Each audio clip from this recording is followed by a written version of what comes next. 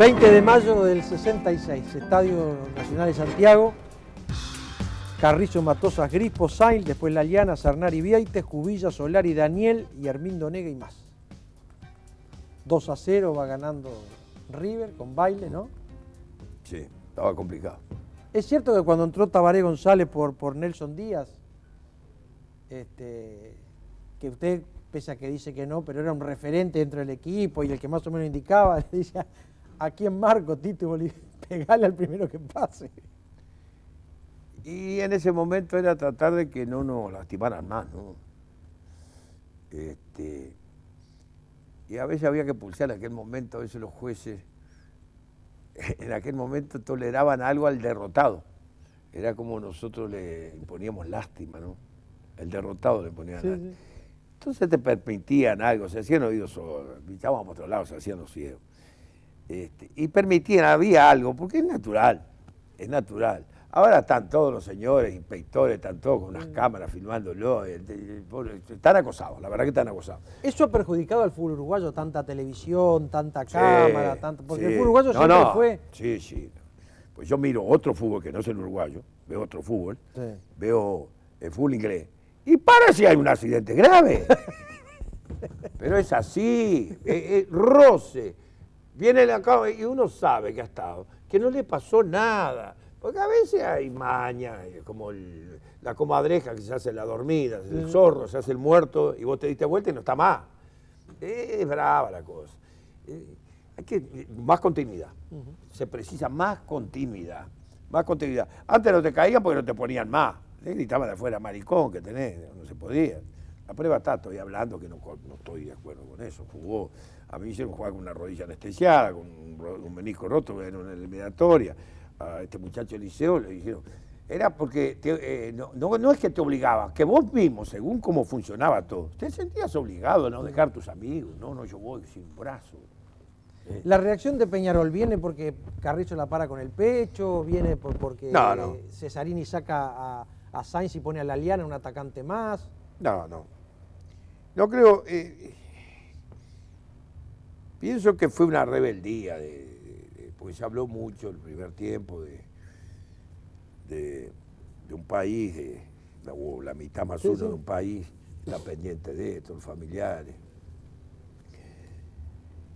Y, se entró en una especie, hizo un tipo de convenio, ¿no? De, de que no podíamos, nos derrotaron, nos subestimaron en todo aspecto en Buenos Aires, muchachos.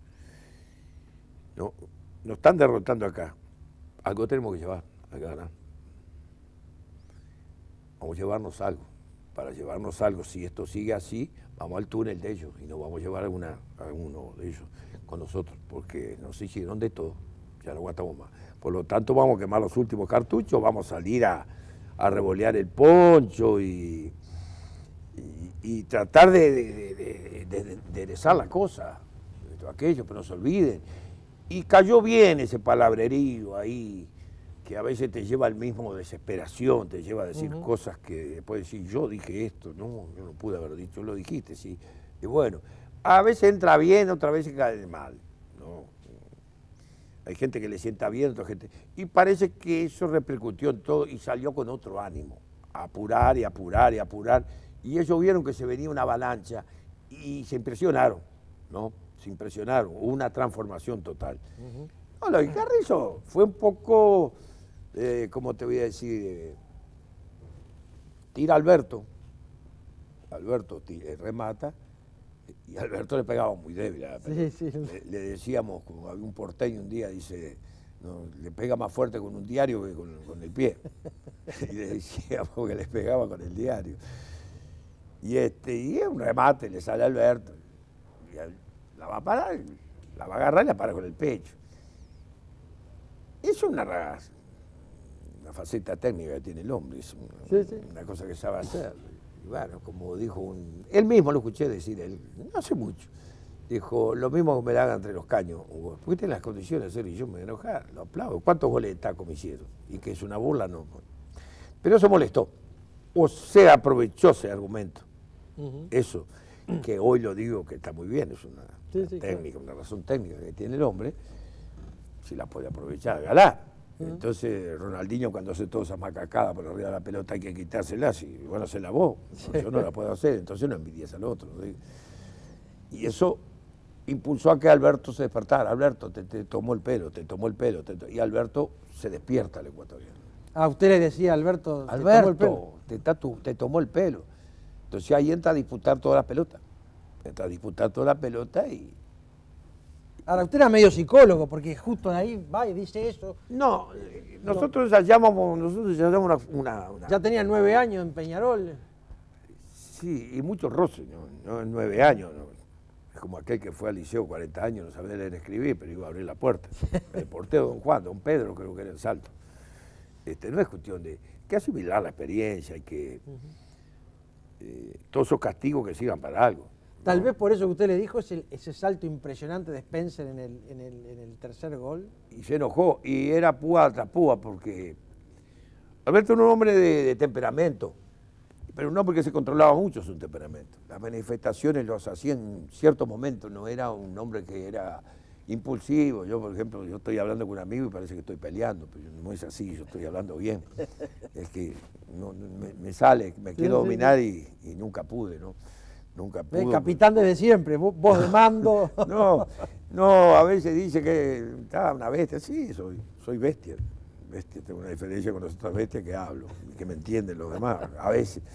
Pero, qué razón. Eh, Alberto, cuando entraba ahí, y le dimos el empujoncito, se encuentra, porque a veces hay que encontrar las palabras. Hay que encontrar las palabras tanto para una cosa como para otra, para que ataque o para que, defienda.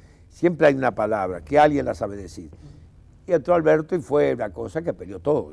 Después hasta un gol que. El, segundo gol que fue. Sí, sí. No, el tercero, el tercero. El, primero fue una jugada que hacíamos que, que yo se la pasaba rocha por arriba, yo se la punteaba, picar, como se pinchar, como se dice. Pinchar, Antes era más viejo eso que. Antes la pinteaba acá, pasaba por arriba del Estado Bicentenario, porque daba mucho barquinazo, entonces apretaba así, pasaba por arriba y caía a, cinco metros del otro lado. Y eso lo hacíamos a veces, vamos, vamos a engañar algún día, vamos a hacer algo.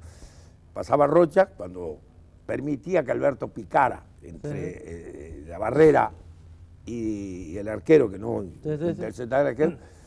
Pero vamos, pasa Pedro por vos y yo se la, se la pincho, voy a decir, porque si no me entiende se la pincho y, vos picás, porque Alberto arrancaba en cesta. La gran condición que tenía Alberto que arrancaba en cesta, no pensaba ir cambio tras cambio. Alberto, vamos a hacer la, de, los cordones, le decíamos, la de los cordones. Vamos a hacer la de los cordones. La de los cordones, y vos no vas a hacer, perdiendo. Entonces Alberto se, agachaba como para hacer los cordones, pasaba Pedro y yo, y cuando él se apunteaba, salía. Y así hace el primer gol. Y el segundo, Alberto, vamos a seguir matándolo. Y ahí le hace. No, Abadí tira, pega Matosa en el número de se descoloca. Y después, el tercer gol lo hace Alberto con ese salto que. Algo que, siempre me decía, hermano, yo no puedo saltar tanto. o el miedo o el coraje. El coraje, ellos dicen la bronca, ¿no? me da coraje esto. Eh, el coraje. ¿cómo pude saltar tanto? Porque fue algo que se extrañó, sorprendió, saltaba muy bien. aún hoy lo vemos por la televisión y sorprende. Este, saltaba muy bien en la Bueno, 4 a 2 ganan el alargue. ¿Alguna vez vio un festejo tan grande acá en Montevideo cuando vinieron? No. volvieron? No, no fue. No, fue, fue impresionante. ¿no? fue impresionante porque nosotros, yo qué sé, es difícil participar de un festejo. Yo no sé, no son manera especial, porque hay mucha gente que piensa como yo, ¿no? coincidimos en eso. Ah, a mí me, siempre me gustó que festejen los demás, los demás dentro de la rama que pertenezco yo. A mí me gusta ser partícipe. A mí me gusta dejar, eh, eh, yo disfruto sabiendo que uno ha colaborado para que los demás estén alegres. ¿no? Esa fue mi, a muchos dicen, tu estúpida manera de, de, festejar. Y bueno, yo soy feliz cuando cuando nos contamos con eso, era algo impresionante, porque había un, temor de que se cayera, el, se, desfondara el techo del ómnibus. Ah, sí, subieron todo arriba del ómnibus, sí. Había un temor eso.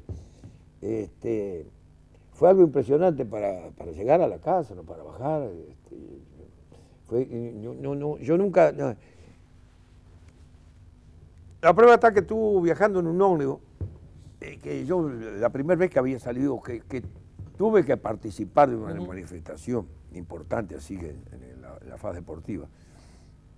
Una la ve a través de la televisión, la ve, estás en tu casa y ve, o sentís ruido, che, no viste los festejos. Este, eh, pero fue algo, algo que yo no podía creer que saliera tantas cosas amarillas y negras. estoy hablando desde Carrasco hasta eh, cosas insólitas. Fue algo que cayó mal. Claro, siempre todo triunfo cuando vos ya estás eh, dando pronto para dar la extrema opción y, vuelve lleno de vida el personaje. es una fiesta, ¿no? Es importante.